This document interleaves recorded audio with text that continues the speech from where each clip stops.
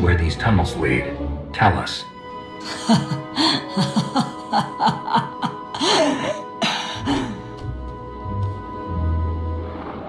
Lord Zillus? Oh, it's you.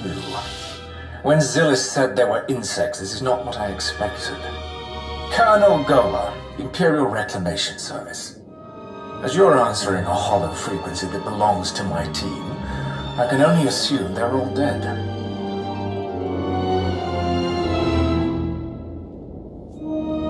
We are at war. And right now, we could face a bigger threat than the Republican Empire's repetitive bickering. Despite our war, I see you've spared Lord Zillus. What will it take for you to return her to me, alive?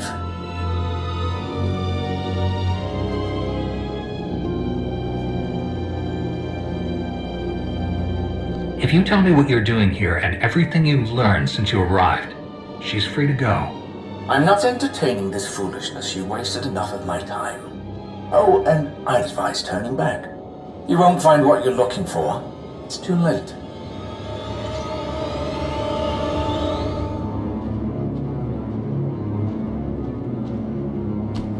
Her wounds are bad. She won't make it. Not like she'd help us anyway.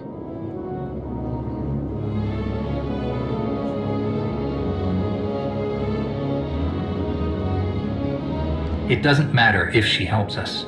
She's our prisoner. How noble of you, Worm.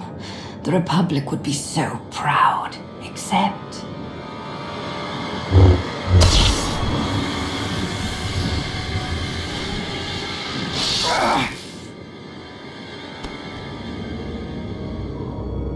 Cooperation from a Sith was probably too much to hope for. Keep moving. We need to figure out which way to go.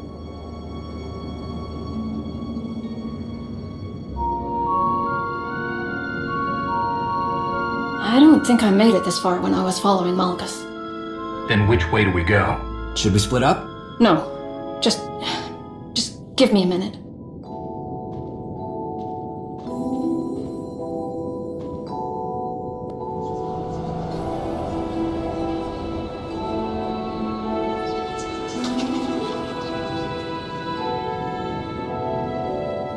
Here. Malgus went this way. How do you know? Because I feel his presence most strongly here. Does that mean he's nearby? Not necessarily. Remember what I said about how the terrible things that happened here left echoes in the Force?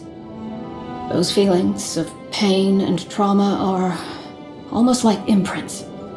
Anyone who comes through here now, even Malgus, continues to leave those imprints. And I can feel them. Why don't I sense them? Force empathy. I've experienced it for as long as I can remember. I've always been almost overwhelmed by other people's feelings and emotions. Little things like time and distance don't do much to stop it either. Does Malgus know this? Could he be manipulating these imprints, knowing that you were our only lead? I don't know. I hadn't thought about it. Well, uh, all we can do now is follow this tunnel or turn back. We go forward. But let's be careful.